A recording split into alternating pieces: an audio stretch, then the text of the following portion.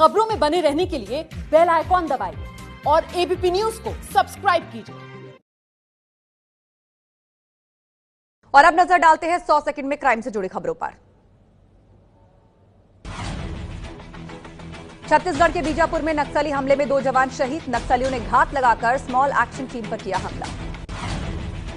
ओडिशा के कोरापुट में टीडीपी विधायक की हत्या में आरोपी माओवादी को गिरफ़्तार किया गया। बिहार के भोजपुर में अपराधियों ने जेडीयू नेता विश्वनाथ सिंह को मारी गोली, हालत नाजुक। हरियाणा के रोहतक में कैंसर पीड़ितों की मौत के बाद रोड एक्सीडेंट दिखाकर बीमा कंपनियों से लाखों ठगने वाले गिरोह का भंडाफोड़। हिमाचल प्रदेश में डलहौजी के पास पठानकोट चंबा हाईवे पर बड़ा सड़क हादसा, बस खाई में गिरने से 12 लोगों की मौत, पैंतीस से ज़्यादा जख्मी। यूपी के हमीरपुर में नशे में धुत पुलिस वाले ने आठ साल के बच्चे को जीप से रौंदा, इलाज के दौरान बच्चे की मौत।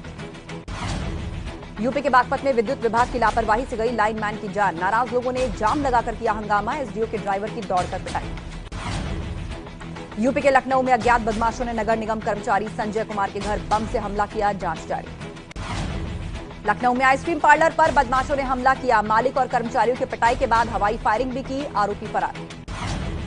यूपी के बरेली में हाई टेंशन तार की चपेट में आने से दो भाइयों की मौत। मजदूरी करने गए थे दोनों भाई। एक भाई ने पास की थी बारहवीं की परीक्षा। राजस्थान के नागौर में महामंडलेश्वर कुशालगिरी पर रेप का आरोप, गौशाला में काम करने वाली पूर्व महिला कर्मचारी ने लगाया आरोप। हरिद्वार में शादी समारोह के दौरान बाइक चोरी की वारदात, बाइक चुराते हुए आरोपी सीसीटीवी में कैद। बिहार के बेगूसराय में वृद्ध दंपति से घर में घुसकर लूटपाट की कोशिश, घर में कुछ न मिलने पर भागे आरोपी, तस्वीर सीसीटीवी में कैद। हैदराबाद में बस में चोरी करने वाले गैंग का खुलासा, आरोपी बदमाश हुए गिरफ़्तार।